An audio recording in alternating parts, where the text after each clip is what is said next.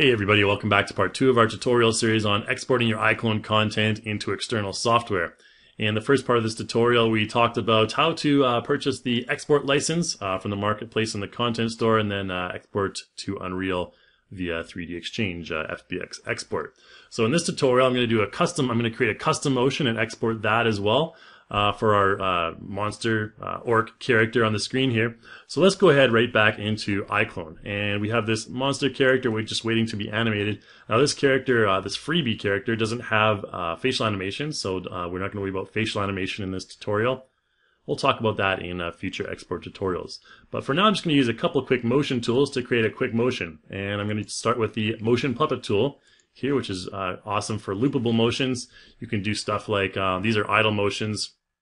So uh, we have uh, mood motions as well, like this angry motion. You can see the orc getting frustrated. Ah, and then uh, the movement motions as well. We have uh, you know tiptoes um, and uh, depression and uh, you know all sorts of funny motions. well, I'm just going to use an idle one right now. We're going to use this dancing motion, and in addition to you know having the loopable motion right here. Uh, for your game or project or whatever. You can also um, uh, change it a little bit by using these parameter sliders on the right. I want to you know, raise my hips or lower my hips. I could do that, for example. I could have this guy lean forward or backward to the beat if I wanted to. And again, that will record in real time. I'm just previewing now. Uh, you can also just press space to start, stop and start previewing.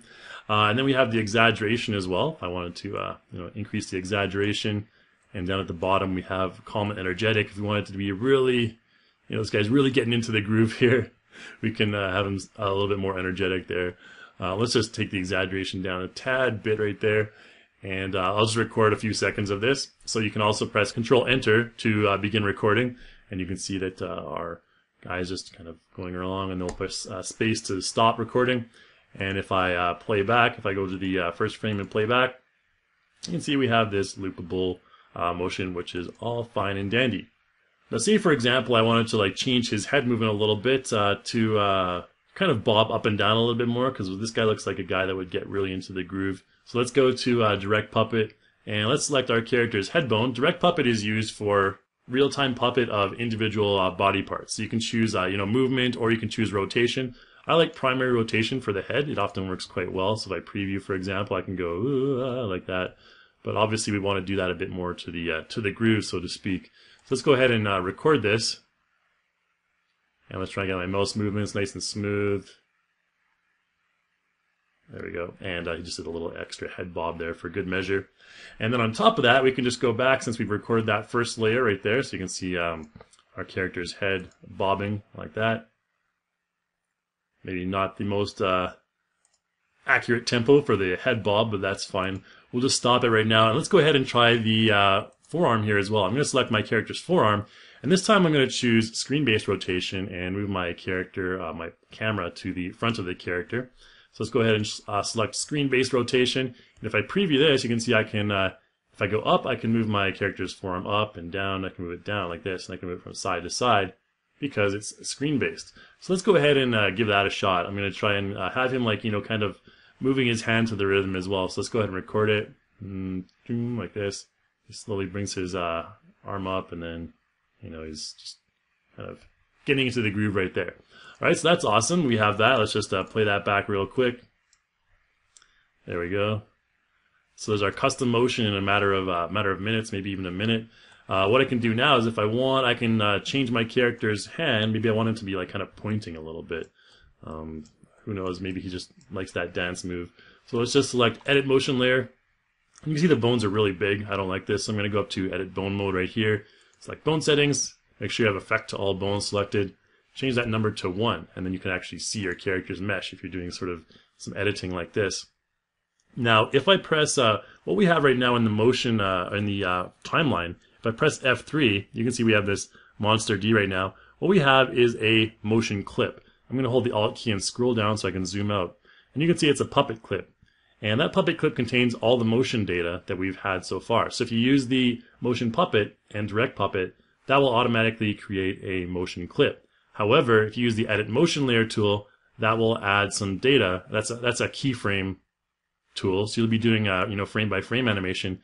Say for example, I go to about here, and I want my character to start you know pointing his finger. what I can do is I can just press reset here, and that will add a keyframe. I'm going to actually go down to my uh, motion layer track here. Let's open that up. And that will add a keyframe in my motion layer track, an absolute keyframe, which will um, have a keyframe for all my body parts right here. And uh, basically, that's the start of my point where I'm going to start pointing his finger. So I can start going here.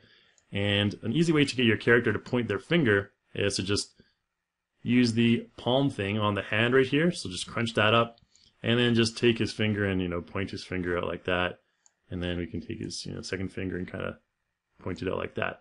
So then from here to here, he's going to start pointing his finger like that. And then it's like da, da, da, da, da, like that.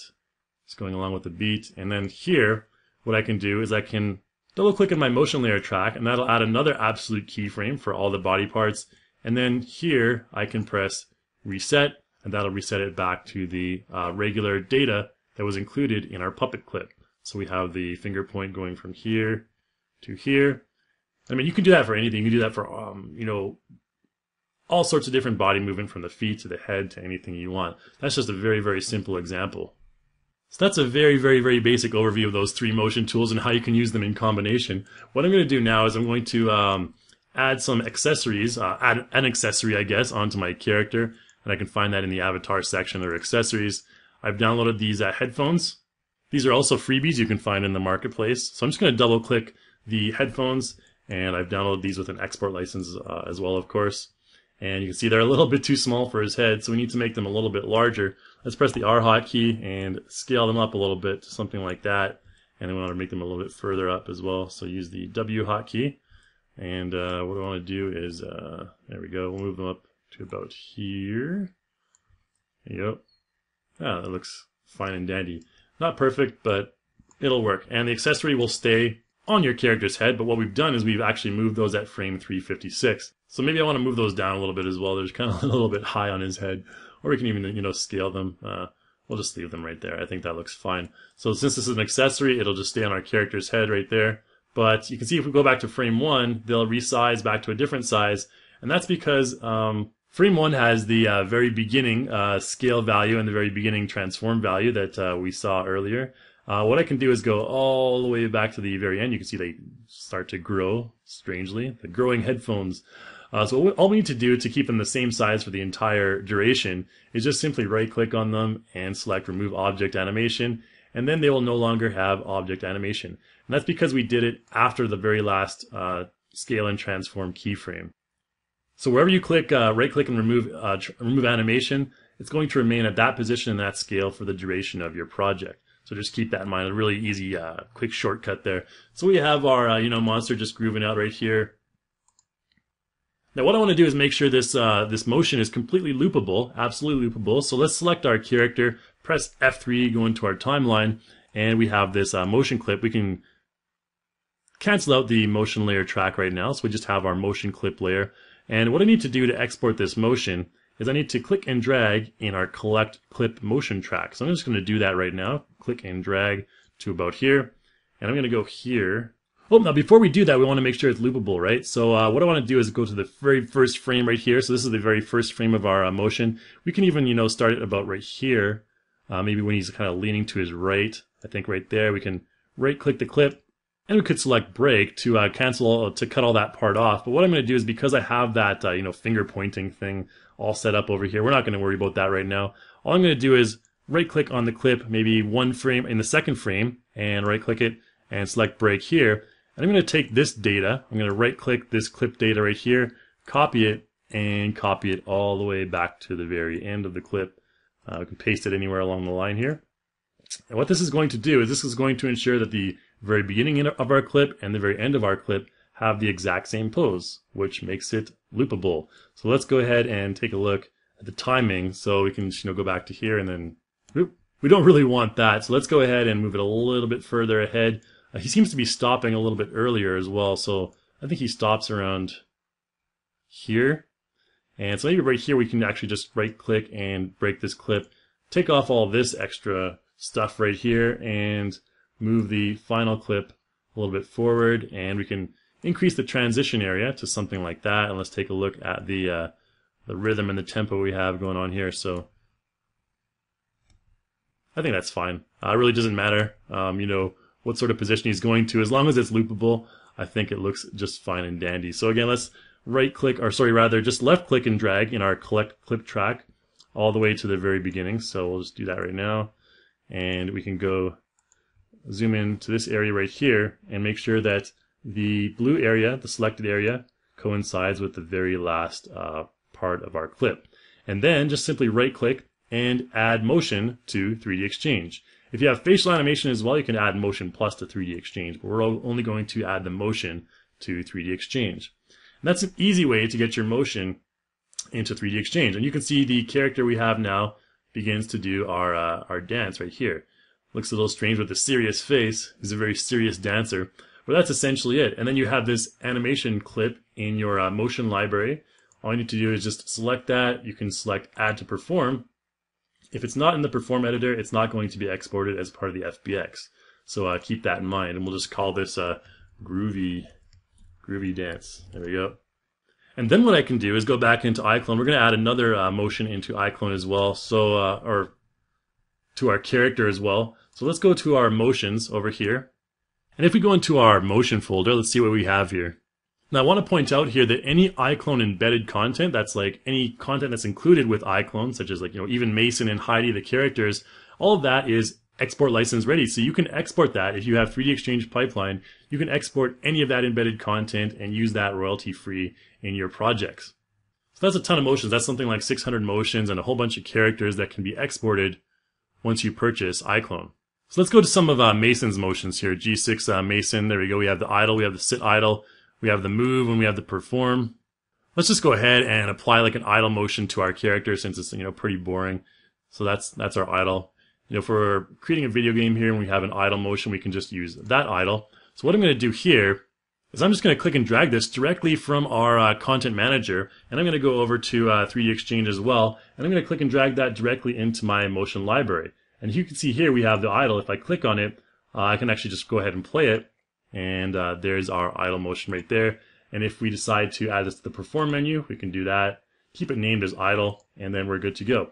So now we have a custom created motion that I created in iClone, as well as an idle motion that's in embedded content. And you can export both of these to your game project uh, or whatever project you have royalty free. So let's go ahead and do that right now. Let's go ahead and select uh, export to FBX, and I want to call this uh, you know, test orc, oops, that's test orc 2 right there. And this time we actually need to include the animation as well. So let's change our preset to the Unreal preset first, and then it selects uh, in include animation. Now we don't want to save one take per file, that will create multiple FBX files. So I'll just deselect that and it'll include it all in the same FBX file. And then we can just go ahead and select OK to export it to our desktop. And then we'll have our test orc 2. It's exporting that uh, FBX, the mesh, as well as all of those uh, or the cool animations that we have. So let's go ahead and uh, press OK and back to our desktop here. And then we have test testorc2.fbx. And keep in mind that all your materials will be saved to the same directory that you have if you uh, export an FBX. So I have, you know, all the testorc right here from before. That's the uh, folder. If I double click on that, we have all the materials uh, for your for your use in case you need to customize them or anything. So let's go back into Unreal and let's create a new uh, new folder. Let's right click on our content browser and select a new folder. Let's call this test orc. Whoops, whoops, we need to underscore here. Test orc 2, there we go. And in this folder, that's where we'll uh, import our second uh, test orc. So let's just go ahead and delete this first guy. Go back to our desktop, click and drag our test orc 2 into our uh, Unreal project. There we go. Now this time, of course, we need to select import animations. That's basically all you have to do. If your character has facial animations, what you'll want to do, uh, especially if it has facial uh, morph shapes, you'll want to go to your mesh up here and then select uh, import morph targets. So if you have like a, a Daz character or you know a Mason or something like that, or any character with uh, blend shapes, you'll want to select import morph targets as well. Uh, make sure you have that selected if your character has facial animation and blend shapes. But we don't have that right now. We're not going to worry about that. Let's just go ahead and select import all with our animations selected. And this will take just a minute, so I'll come back uh, once it's finished compiling all the shaders and loading all the animations, and we'll test out these motions. All right, so we're done compiling all the shaders, and you can see all the uh, you know the notification for the uh, vert weighted stuff here, so we don't need to worry about that again. Just uh, go ahead and close this message log, and let's import in our animation sequences. Just so, just because that's the uh, fastest and easiest way to do it. So let's import in the first one, the uh, anim groovy dance right here, which is the one that we uh, saved. And then we have the anim idle. So we can import both of those in. All right, so all we have to do now is uh, give this a play, and you can see we have our nice uh, loopable dance groove motion right there, and we have our idle motion, which was the embedded iClone content that we uh, just exported through 3DXchange. Uh, so maybe the uh, grooving could be a little bit more, uh, you know, better looped, but I just wanted to show you the basic concept here of how you can uh, do that in a few minutes, uh, create your own custom motion in a few minutes, and export that for use royalty-free in your projects, as well as the idle motion, including all the characters as well that are embedded with iClone as well. I want to reiterate you can use those as your royalty-free in your custom projects and everything like that. So thank you so much for watching, everyone, and uh, hopefully uh, see you next time.